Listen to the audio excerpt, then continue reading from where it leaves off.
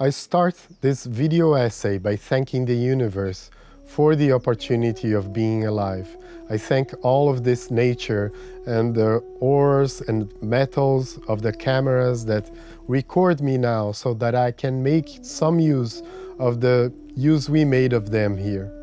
I also thank my students and supporters of this channel and project on the crowdfunding websites like Patreon. Without you, this work would not be possible. Have you read about indigenous philosophies or Native American philosophies?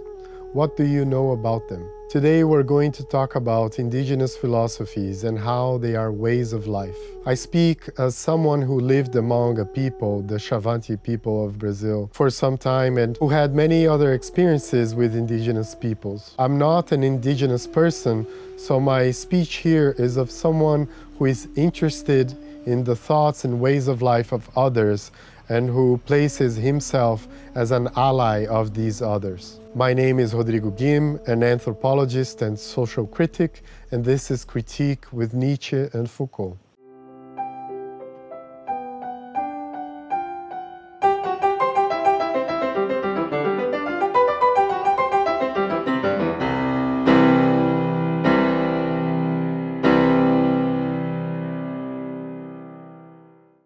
Today I will talk about indigenous philosophies or Native American philosophies. I will speak only as someone who has read what indigenous philosophers are saying or what those who don't claim to be philosophers but who write about this topic are saying. And here I made a point of just talking about what I saw being repeated by several scholars, giving priority to indigenous writers teachers that I was able to access. I certainly found many more interesting subjects and ways of thinking, but I didn't bring them here because they were readings brought by some specific indigenous thinkers only. I brought here what I found in terms of similar subjects between many of them, but I also cannot say that these thoughts that I will present are universal subjects or approaches for all indigenous thinkers.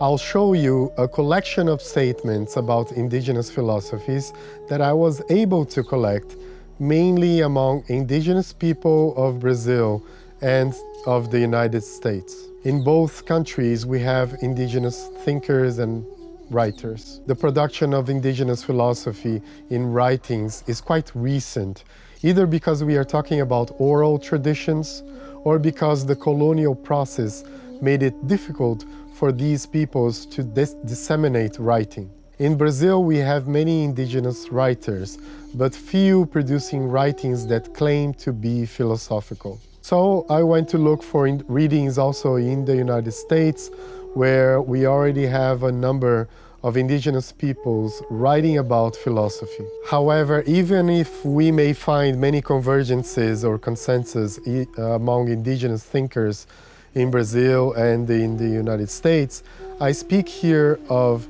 indigenous philosophies or Native American philosophies as is used in the United States. I speak of them in the plural, precisely to recognize that no matter how there are many convergencies. Uh, each people have their own philosophies and each individual is also a part of this creation of the philosophies that are above all ways of existing and of having an experience in the world.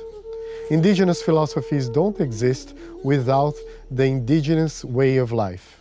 Unfortunately, in many places, capitalism and consumption as a way of life has come and changes the reciprocity of people who start wanting money to buy things and to have money and buy individual things that breaks ties of reciprocity.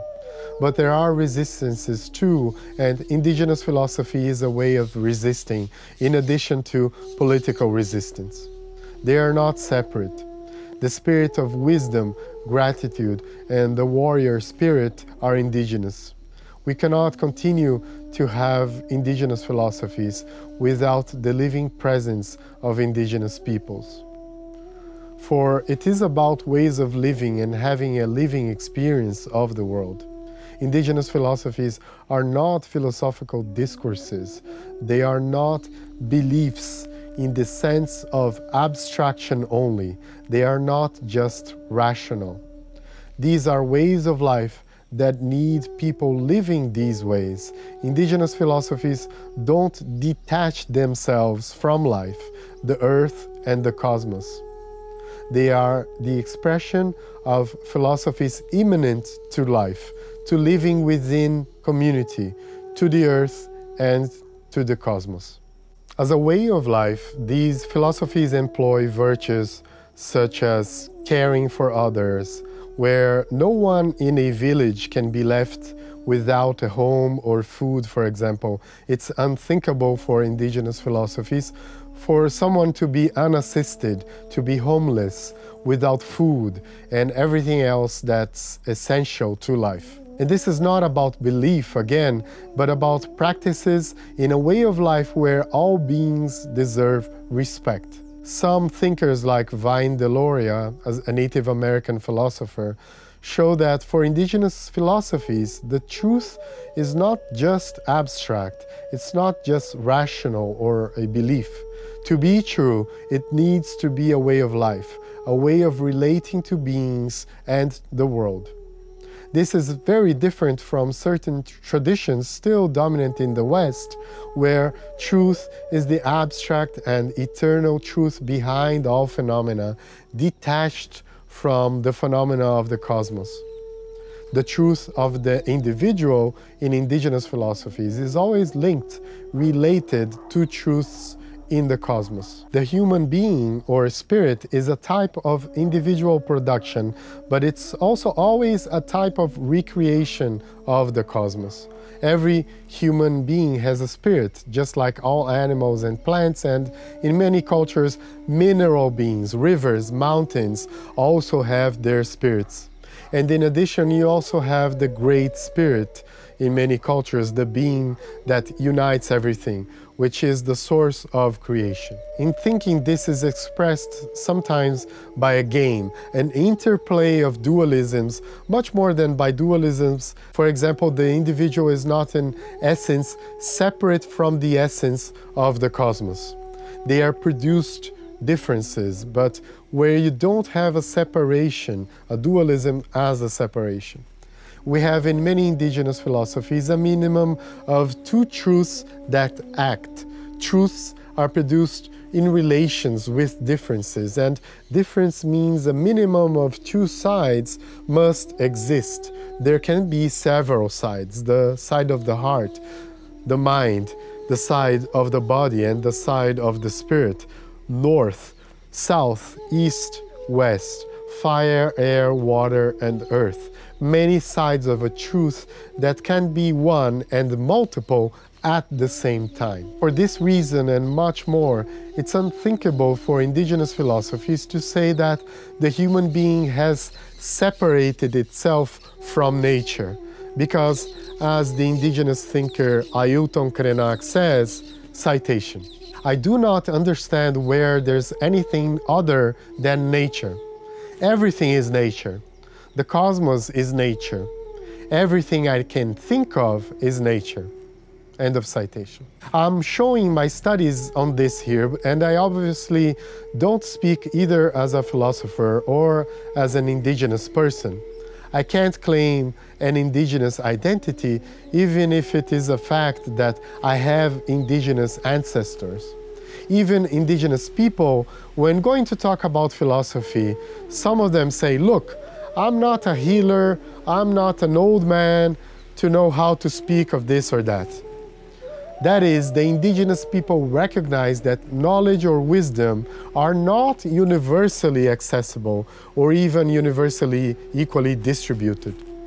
There's a job, there's a work, there's a necessary experience to acquire wisdom. Wisdom is something that's acquired with a certain experience of life, while knowledge can be passed on, can be memorized. The first Native American Indian to have a PhD in philosophy, Viola Cordova, said the following citation Knowledge in Native American sense is not equated with wisdom. Knowledge with the added awareness of its pragmatic implications comprises wisdom. The ability to clone human beings is certainly a bit of knowledge, but is it wise? End of citation. The indigenous philosopher Kaká Werá, for example, says that one can learn about the inner nature of being, and that wisdom is a mysterious inspiration that comes from the depths of being. It's not the result of study alone. Wisdom is the result of inspiration that comes instigated by dreams, by intuition, songs. It does not need to come from the rational. Not only people think, thought is not a gift of the human being only. Knowledge is rational, it's information, but wisdom is an experience, a powerful inner experience that makes the person live differently. Music, for example, singing, has the function in many indigenous cultures of healing, of providing mental, physical, and spiritual health. And in many cultures, as in the Xavante culture, for example, it's in the dream that the songs, music are created and they fulfill various functions in society. In the past, anthropologists used the discourse on the primitive that reigned until at least half of the 20th century. Some anthropologists of the past, like Lévy-Bruhl, said things like, the primitive doesn't like discursive operations of thought, he has no reflection, he only lives in mysticism in which subject and object are mixed, he said. Others who came later, like Paul Radin, directly questioned this notion and said that there are thinkers among so called primitives. But still, here you have a white man talking about how primitive thinks, how he lives, etc. This was a colonial way of talking about others that puts everyone as the same, reduces them, sometimes idealizes them. But indigenous peoples are not all the same. Even indigenous thought shows at all times that it is from the diversity that comes the richness and the beauty of life. It's the diversity of forms of life that is revered, that is sacred, that allows life itself and the cosmos to exist. This constant production of difference, a difference that is always relational, is always being produced because it is a relationship. And you have no relationship if you don't have diversity and movement. Unfortunately, much of this difference has been annihilated for a long time by a system that produces sameness. The colonization of the continents started a genocidal system of indigenous peoples that is now consummated in capitalism, that also produces sameness in ways of being, in ways of being, thinking, acting, and living. The indigenous peoples have bravely resisted until today reinventing themselves, producing their difference in new ways, even producing, as a Brazilian indigenous thinker, Ailton Krenak says, new forms of subjectivity, new visions, new poetics of existence, which at the same time are linked to differentiation, that is, the cosmos. Ailton Krenak says, citation, We are definitely not the same, and it is wonderful to know that each one of us here is different from the other, like constellations. The fact that we can share this space, that we are traveling together, does not mean that we are the same. It means exactly that we are able to attract each other through our differences, which should guide our life path. Having diversity not a humanity with the same protocol. Because that, until now, was just a way to homogenize and take away our joy of being alive. End of citation. This joy of being alive in indigenous philosophies is completely linked to celebrating and thanking life for recreating life. The indigenous writer and philosopher Daniel Munduruku says that when the indigenous people sing and dance by stomping their feet on the floor, they are not just making noise or just making music. They are making the gesture of creation, the gesture of recreating eternity in the present. Creation and the movement of creation that continues in our present. There is no dualism that separates the present from eternity. Kaká Werá also speaks of the meaning of tupi as being the sound of feet. That is, he points to the direct connection between sound and creation, between songs, music, words, and nature and the cosmos. Nature's entities like fire, water, earth, and air with these, the relationship is one of reverence and gratitude. It's a search for understanding our key relations that connect us to Mother Earth and to the cosmos. Kaká Werá speaks of indigenous gratitude to the ancestor who shaped the body that we are, because the human being is a co creator of himself and of the world. The human being is an unfolding of the great creation and co creator of himself and of nature. Creation is in progress. It's up to the human being to reach the wisdom to walk on the path of creation and not against creation. But here, nothing is more different from dominant Western thought, which largely denies life in favor of another life in the hereafter than this way of thinking. Indigenous philosophies are statements of life on earth, an affirmation of life on earth and in the cosmos. In relation to subjectivity, to the inner experience, it's not seen as a way of escaping, but as a way of having a deep connection with life, with community, and with the cosmos. That is, to differentiate is to be alive, to be connected to the cosmos. Our joy in being alive depends on the production of differences, on the possibility of life for difference. The exaggerated sameness that we live in the world today is against life, makes different ways of life impossible, and at the same time destroys the production of difference that nature is. As the indigenous shaman Davi Kopenawa says, nature needs us to have this caring relationship. When we destroy nature, we are destroying ourselves, and it turns against us ourselves. Kopenawa says, citation, when the Indian and the forest are over, it will be the end of the world. End of citation. For indigenous philosophies, everything that belongs to nature is sacred there's, there's a respect for all forms of animal, plant, and mineral life, and for the spirits of nature. In indigenous philosophies, the universe is all life. Everything is full of life.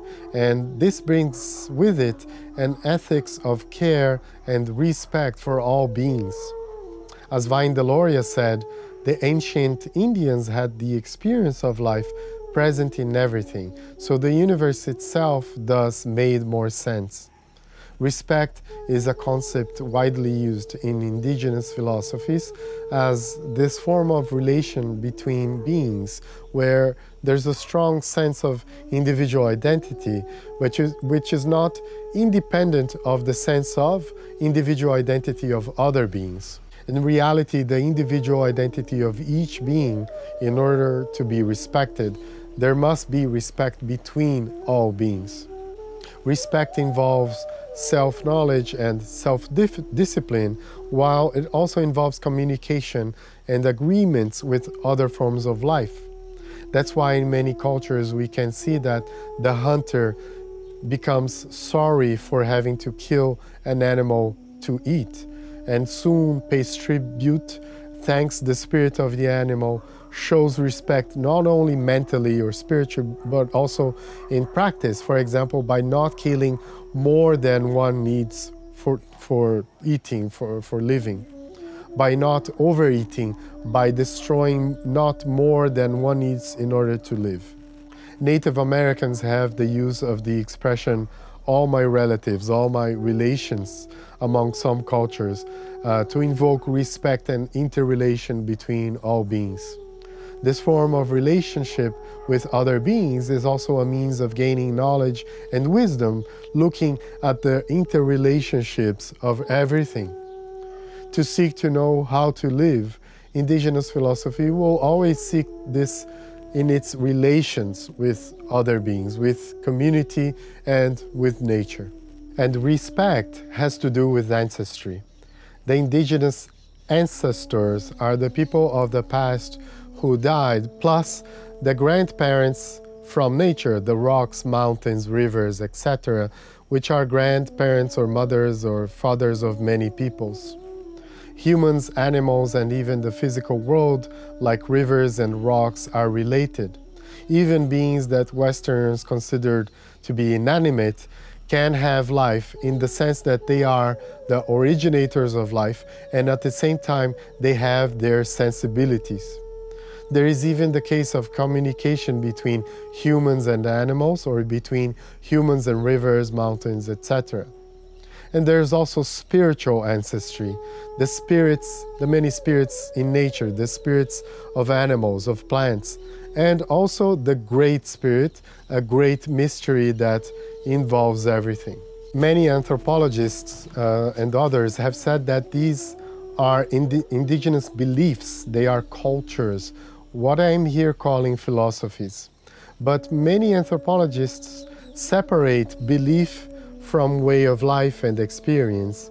Even when calling something a belief, it's being said that it is something abstract. They are certainly stories told. Indigenous philosophies are told by stories, although, as I am saying, they are ways of life. Modes of thought are ways of living, and indigenous philosophy may then only be understood by those who live it and even more so by those who speak the native language.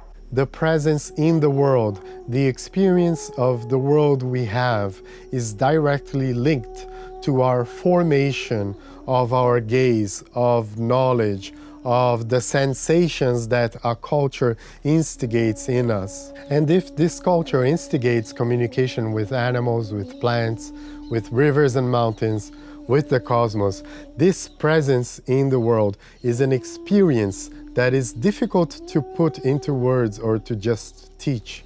It comes from many places and words are not enough. It's an ethics of presence in the here and now at the same time that it is a connection with the infinite, with nature and with the eternal. Indigenous philosophy is not one thing, it's not a model, just the opposite. And here, as a provocation, I will speak of indigenous philosophy in the singular because I want to speak to the dominant Western thought in a language that it understands. Indigenous philosophy is the recognition and practice of producing difference, the incommensurability of the world at the same time that it is a surrendering of oneself to the world as an affirmation of this world and everything that exists as no philosophy has ever achieved. Because other philosophies must first say what they are not for for later to take on new paths. Whoever was born in the West and knows the dominance of life denying ways of thought, of the dogmatic way of thinking and living, knows what I'm talking about. The indigenous philosophy does not start from this critique, it starts from the affirmation, and from there it later denies what needs to be denied colonialism, capitalism, dominant ways of thought, and the whole colonizing and life destroying processes. The view that everything is connected, that life is a web of relations, is part of the thought of many cultures around the world but where it is not just a rational view, where it is a way of living. It's with these ways that the thought of the relation between everything and everything else needs to be linked. Western dominant tradition has thought, reason, as primary in relation to action in the world. This reason, detached from its relations, is a reason that detaches from life and shows this in practice. We need more than ever to listen to our indigenous relatives around the world. And we don't just need to listen. We need to learn and change our ways of living, not to live in an ideal, romantic world, quite the contrary, so that we can still tell new stories that can postpone the end of the world, so that we can relate to the differences that we are and that deserve their space in this cosmos. There's no turning back in history, we just move forward. But going forward does not mean that everything needs to be denied, that the past does not return in some way, even if differently. Difference always returns.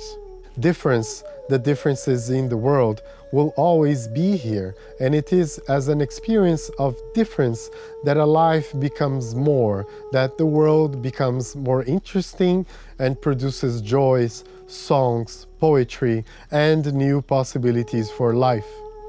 No one is ever the same as anyone else, and that's why we should have a world that proliferates the possibilities of difference, because it is what we are made of. It's the difference in respectful relations to our relatives, and our relatives are not only human, and they are not less than us because they are not human. We are part of a web of relations, and our human relatives, animals, plants, stones, planets, stars, are part of what we are in these relations. Those who do not understand this do not understand indigenous philosophy. It's not about belief, it's a way of relating to the world, the highest affirmation of that world, the affirmation of everything that exists. There is nothing that can be a statement or a, an affirmation that goes beyond that. The affirmation of the beyond is a negation of the world. That Nietzsche has already taught me a lot. Indigenous philosophy teaches me the real affirmation of the world and of life, which Nietzsche himself was also looking for and found in some thinkers of the past, like Heraclitus and Spinoza and others. But we have these philosophies of affirmation today alive, philosophies that come to critique the dominant Western way of thinking, it, and that is because we are in the middle of that dominance and cannot ignore it. It is necessary to critique the dominant ways of thinking and ways of living. But before that, it's always necessary to start from an affirmation of life. We must critique Western or capitalist or dominant modes of thought and life only where they cannot be ignored in an attempt to overcome them when they harm us. But in our daily life, the affirmation needs to be first in relation to critique. As Nietzsche said, it's from a great yes to life that one can be more critical, saying the big no to everything that denies life. With regards to the affirmation of life, it's not a question of belief or just a symbol, but the manifestation of creation in reality. It's a flowering of reality, an emanation. The performance of a ritual, for example, is an emanation because it starts from otherness, starts from the dream, from vision, comes into singing, to ritual, becomes something that unfolds in reality, creating reality. And why creating reality? Here we quote Vine Deloria again. Citation. The real interest of the old Indians was not to find the abstract structure of physical reality, but rather to find the proper road along which, for the duration of a person's life, individuals were supposed to walk. End of citation. This meaning of life as the search for the individual path, which of course for the indigenous people is never just individual against the collective. There's no dualism between individual and society, as I said. At this point, we can establish relations with ancient philosophy uh, of the Greeks, for example. Ancient Greek philosophers were largely not concerned with building rational discursive systems about reality. The concern was much more about how to live. Philosophy as a way of life, as philosopher Pierre Hadot says in the book Spiritual Exercises and Ancient Philosophy. Ancient philosophers largely looked for ways to become others of themselves, according to Hadot. And this practice of seeking to become another of oneself included the attempt to open up to the cosmos. That is, there was a practice of individuation, of singularization, but one that was always open to universalization, to nature. There were, for example, among Epicureans and the Stoics, exercises to provide attention and experience of themselves and of the world as a complete here and now, a present where past and future united. Hadot says, citation, Whoever practices this exercise sees the universe with new eyes, as if seeing it for the first time. He discovers in the enjoyment of the pure present, the mystery and splendor of existence. And, as Nietzsche used to say, we say yes, not only to ourselves, but to all existence. End of citation. This is not just the result of a thought. It's a whole practice, a training that leads to an experience. So the ancient uh, Greek philosophers practiced spiritual exercises. And not to get to know everything, this is impossible. Even the indigenous Great Spirit is a great mystery. But they, uh, they were looking to live differently, to put oneself in motion, as everything is in motion, in relation, passing from air to earth to fire to water, and on and on again, always differentiating. Becoming, as Nietzsche says, cannot just be understood rationally. Indigenous philosophies and the meaning that indigenous subjects give themselves are immanent in a way of living. The meaning of life is here given by the relation to life, not by abstract ideas, but by our relations and what they allow us to experience in terms of an affirmation of oneself, of others, of places, of the whole cosmos. The meaning of life for indigenous thought is not sought elsewhere than in life, but right here, in the here and now, and in relations with others and with the earth, with the cosmos. In fact, the human being in indigenous thought is not uh, the only one who has knowledge. Knowledge is also coming from animals, plants, nature, that are teachers that help us cure diseases and that teach us how to live. This communication of nature comes in many forms. It comes in dreams, visions, and what the West calls hallucinations or the unconscious or the irrational. And for indigenous peoples, many times these are parts of the real. The West and its universal reason detached from an affirmation of a way of life needs to find a final and instrumental explanation for everything in this dominant way of thinking that is founded on truth and on reason.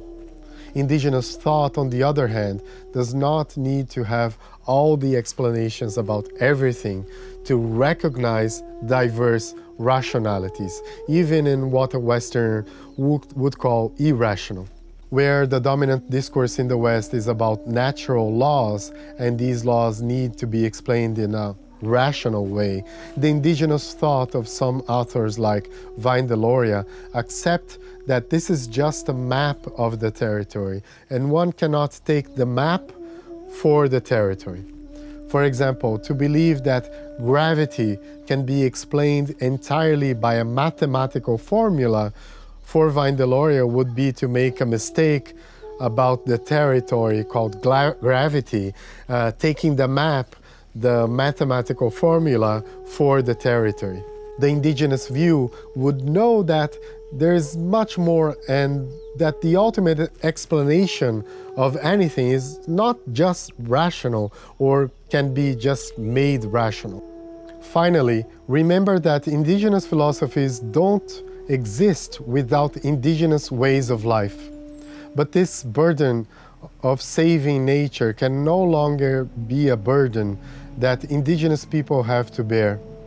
Even they don't think that we can save nature because nature is ourselves. We have to live in a way that respects ourselves. I will leave links here on the video description for you to read indigenous philosophers directly from the sources, also to hear them talking on videos. And because we are at a time where indigenous peoples are suffering greatly uh, from being affected by a pandemic that affects them much more than, than other people, many other people, due to vulnerability that they already suffer by the system, I will leave here a link for you that can help them, the articulation of indigenous people of Brazil. If you can, please support their work. I also want to remind that I am teaching a course on the history of sexuality now in volume two of Michel Foucault uh, for the supporters of this project, of this channel. The link to become a supporter and student on Patreon is in the video description. I thank all my supporting students once again and see you next week.